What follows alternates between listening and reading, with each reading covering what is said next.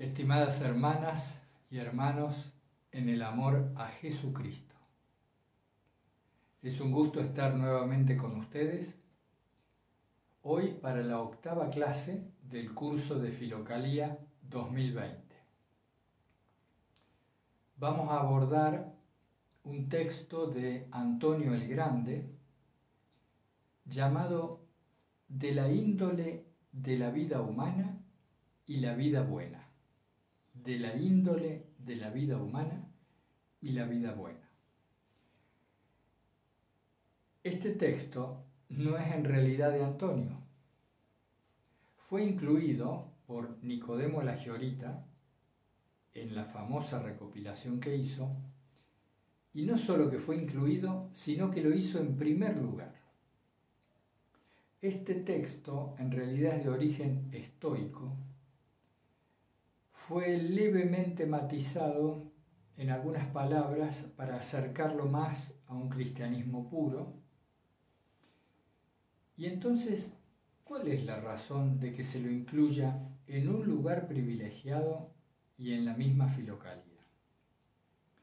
En épocas de Nicodemo la Giorita ya se sospechaba que esto era en realidad un pseudo Antonio, no era un texto de él. Recién pasada la década del 50, en el siglo XX, los expertos pudieron afirmar sin, sin duda alguna que el texto no pertenece a Antonio. Pero resulta que fue prácticamente la regla de vida de los eremitas que migraron al desierto, particularmente al desierto de Sete, afincándose allí para vivir en oración continua y buscando la teosis o la deificación del alma. Tomaron este escrito de Antonio, como decía, como su regla de vida.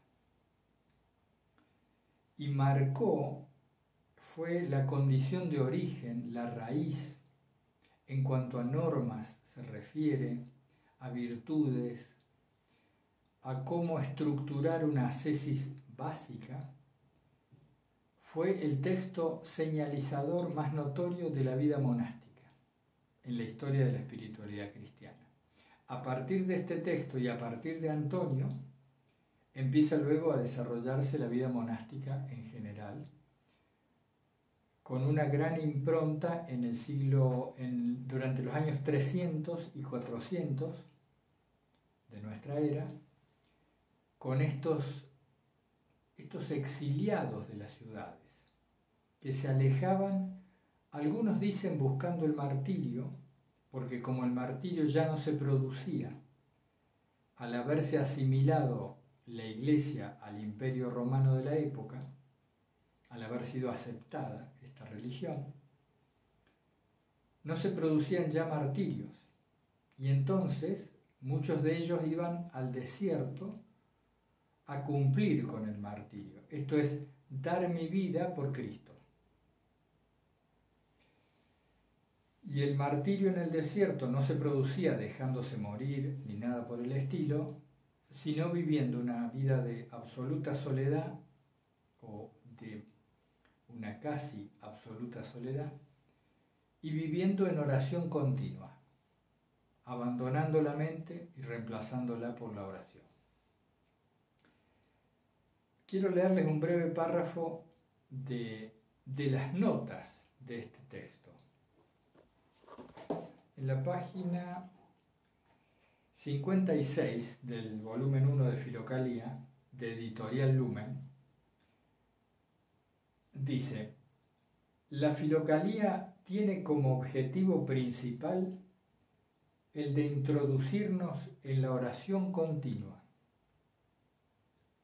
encaminándonos en la vía de la unión con Dios, mostrándonos como único y verdadero destino del hombre ese llamado a la divinización en Cristo. Ahora bien, este breve escrito del pseudo Antonio, en el cual algunos de los conceptos cristianos más precisos permanecen aún oscuros, nos presenta al hombre lógicos, al hombre lógicos. Esto es razonable, el hombre que tiene lógica, que en lenguaje estoico es el justo, el hombre justo.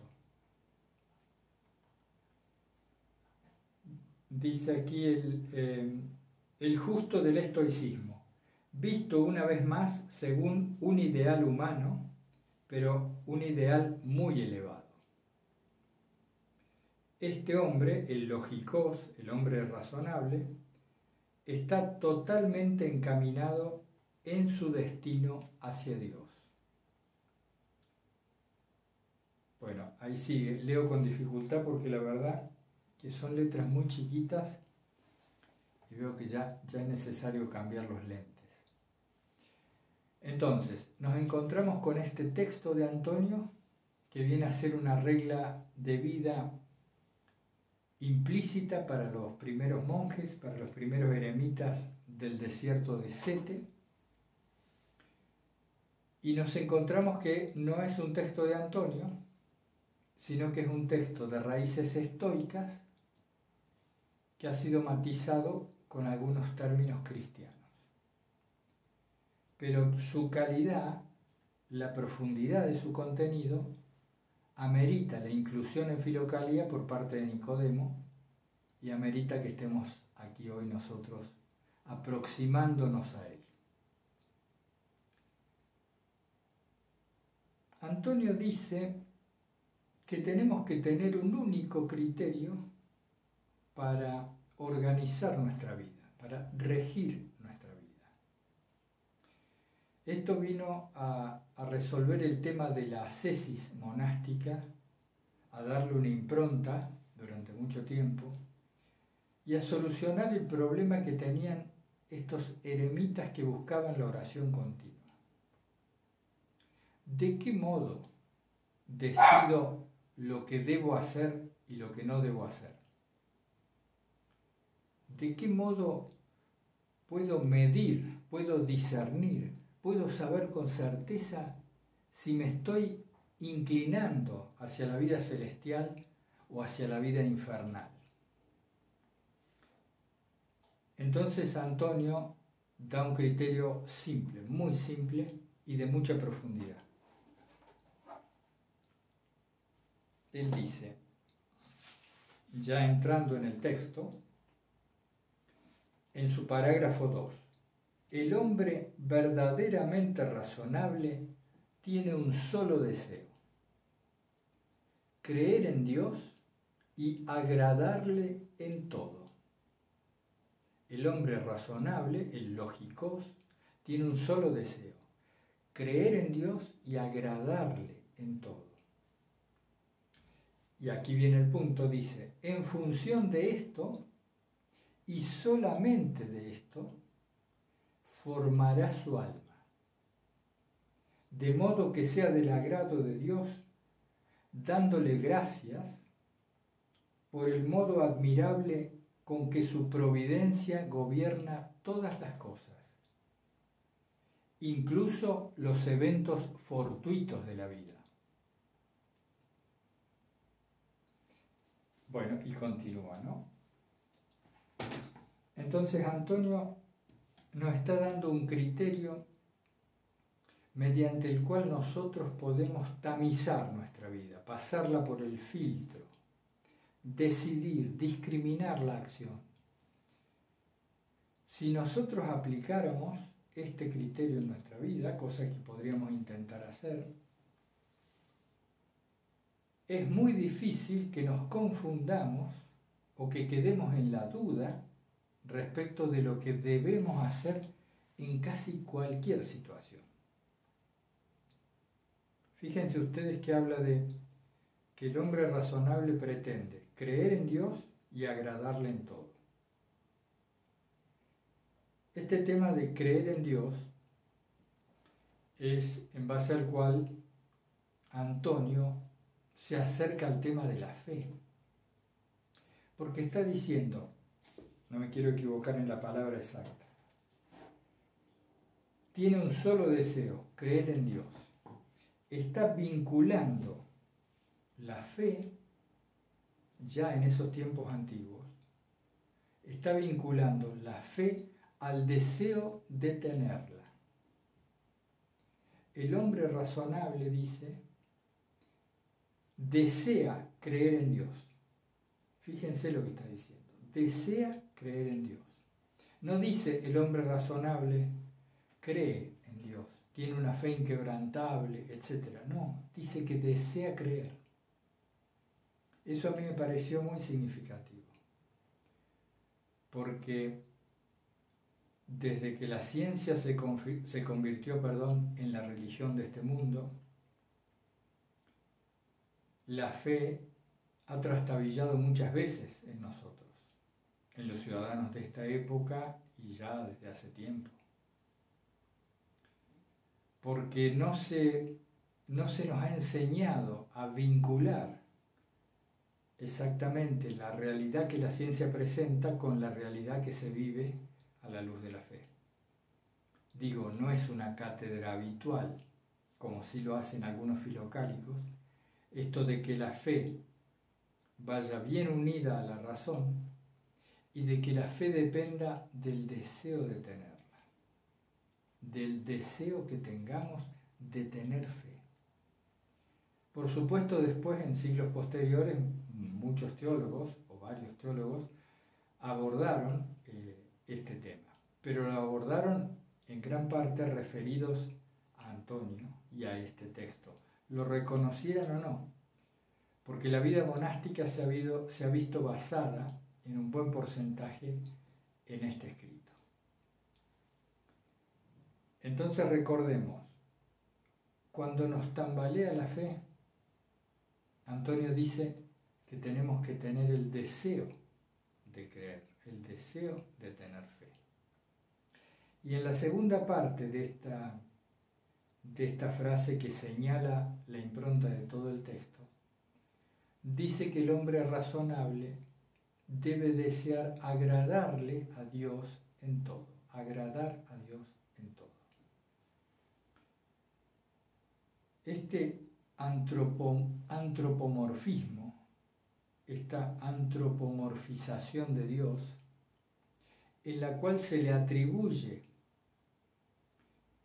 la capacidad ciertamente humana del agrado y el desagrado, sirve en el texto para que nosotros nos ubiquemos en cada situación que vivimos, imaginando que Dios nos mira y qué sentiría esa imagen de Dios que tenemos respecto de nuestra conducta.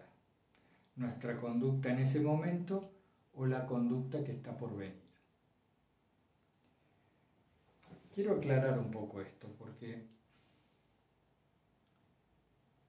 con nuestras mentes limitadas nosotros no podemos conocer cómo es Dios. La escritura nos dice un montón de cosas, pero esto va formando en cada lector, en cada fiel, en cada creyente, va formando una imagen determinada de Dios. Pero, hermanos, la imagen que yo, que ustedes, que cada uno tiene de Dios, no es como Dios es. Como Dios es, no lo sabemos. Me refiero a que nuestro aparato mental, nuestra capacidad de inteligencia, no puede abarcar al omnipresente, al muy alto, al omnisciente, al sustento y al creador de todo lo que existe.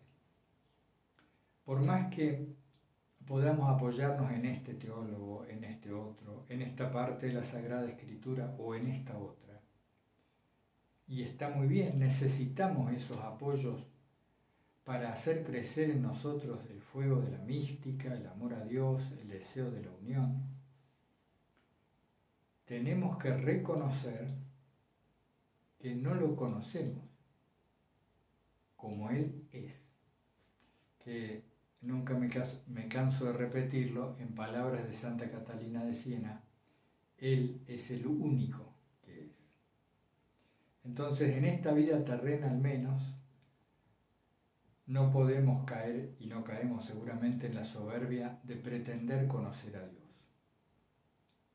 Pero sí nos dice Antonio que tenemos que situarnos de tal manera que nuestro comportamiento fuera del agrado de Dios. Él está aludiendo a nuestros propios valores, a los valores que tenemos en el corazón, que nos llegan de la Sagrada Escritura o nos llegan de nuestra propia conciencia.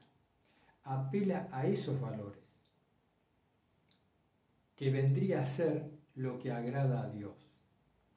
Como nosotros no sabemos, más que de distintas referencias de la Escritura, lo que Dios desea de nosotros, y sabemos que este agrado y desagrado es una cierta antropomorfización de Dios, al menos podemos ceñirnos a la voz de nuestra conciencia. Que por lo general, si somos creyentes y si buscamos en profundidad, nuestra voz de la conciencia ha sido también eh, moldeada por los evangelios. Entonces, en esta mixtura entre el Evangelio y la voz de nuestra propia conciencia, nosotros tenemos como criterio de acción hacer lo que a Él le agradaría.